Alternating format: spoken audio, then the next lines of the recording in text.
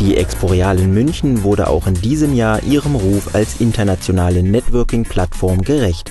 1700 Aussteller und 38.000 Teilnehmer, beides Bestwerte im Vergleich zu den Vorjahren, trafen sich auf der 15. Fachmesse für Gewerbeimmobilien und Investitionen zum intensiven Austausch unter Branchenkollegen.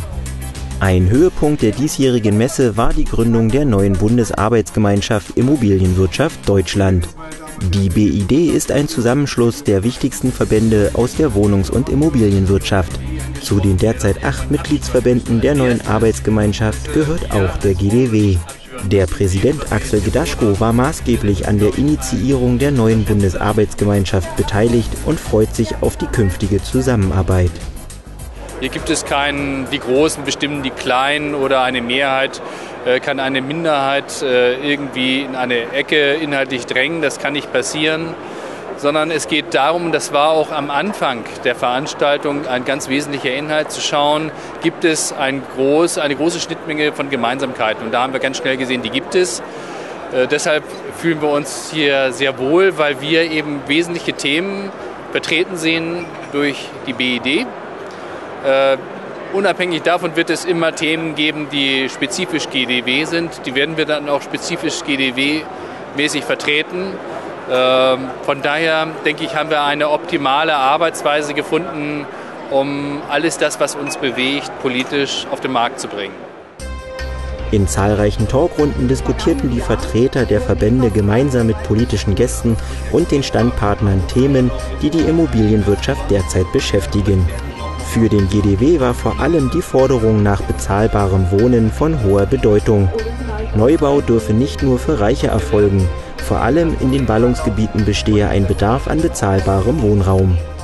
Hier fordern wir ein Umdenken, das darin bestehen muss, äh, erstens die Grundstücke zu akzeptablen Preisen an den Markt zu geben, mit äh, Ausschreibungsverfahren, wo diejenigen belohnt werden, die ein gutes Konzept haben, was gesellschaftspolitisch notwendig ist für die Zukunft, insbesondere demografisch wo aber auch der Bund Wohnraumförderungsmittel zur Verfügung stellt für die Länder, die die Länderzweck entsprechend zur Verfügung stellen, sodass eben auch Wohnraum geschaffen werden kann, insbesondere im mittleren Preissegment, sodass ein Sicker-Effekt eintreten kann, dadurch, dass mehr Wohnungen im mittleren Preissegment gebaut werden und dadurch auch im unteren Preissegment äh, Möglichkeiten wiederum wachsen, äh, diese Wohnungen auch für Menschen, die es eben brauchen, nach wie vor, dass sie die auch diese Wohnung kriegen.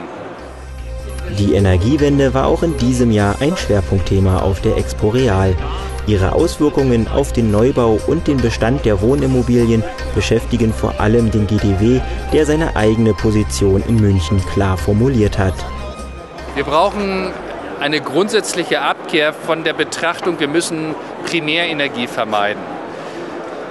Primärenergie vermeiden bedeutet letztendlich, wir können nur über Dichten und äh, Dämmen nachdenken. Und das ist äh, das, was ich sagte, was einfach und dumm ist.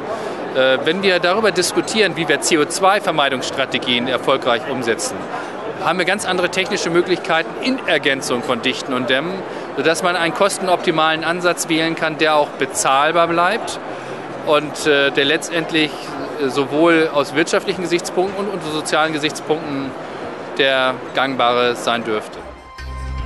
Nehmen ist einfacher als Sparen, lautete ein weiterer Programmpunkt zur steuerpolitischen Agenda aus Sicht der Immobilienwirtschaft. Die Überlegungen der Politik zu einer Wiedereinführung der Vermögenssteuer bewertete die Geschäftsführerin des GDW als große Gefahr für die Wohnungswirtschaft. Wir beschäftigen uns aktuell sehr intensiv mit dem Thema Vermögenssteuer, das ja von einigen äh, SPD-geführten äh, Ländern äh, thematisiert wird. Und wir sehen hier eine sehr, sehr große Gefahr für die Immobilienwirtschaft. Wir sind so die typische äh, Opferbranche in diesem Zusammenhang, vermögensstark, ertragsschwach. Und sollte eine solche Abgabe kommen, würden wir auf jeden Fall die Investitionsfähigkeit der Branche als ausgesprochen gefährdet einschätzen. Mit Blick auf die Herausforderungen für Immobilienfinanzierungen im kommenden Jahr fällt das Fazit der Diskussionsrunde ohne Moos nix los in Sachen Zinsniveau noch optimistisch aus. Langfristig rechnet allerdings auch der GDW mit Auswirkungen durch die Maßnahmen Basel III und Solvency II. Also wir haben gerade in der Diskussionsrunde eigentlich ganz gut herausgearbeitet, dass wir aktuell ähm, aus Basel III und Solvency II zumindest auf eine Sicht von ein, zwei Jahren jetzt noch keine so konkreten Auswirkungen erwarten, weil insgesamt in Europa doch das Zinsniveau bedingt auch durch die Finanzkrise sehr, sehr niedrig ist.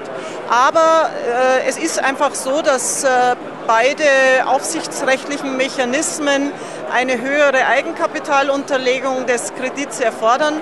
Und das kann langfristig nicht ohne Auswirkungen auf die, auf die Zinshöhe bleiben. Und äh, wenn die Zinsen steigen, ist das für uns natürlich immer ein sehr, sehr immenser Kostenfaktor.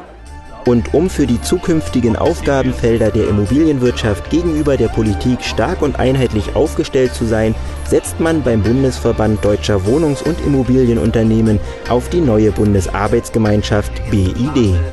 Also ich glaube, gerade in dem Bereich ist es sehr wichtig, dass wir zusammenarbeiten als Immobilienwirtschaft und mit einer Stimme sprechen.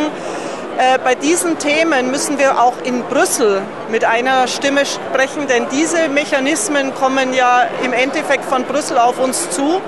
Und das gelingt uns in diesen Themen schon recht gut und da müssen wir auch weiter intensiv dran arbeiten, denn wenn die Finanzierungsbedingungen der Branche nicht stimmen, dann können wir auch nicht investieren.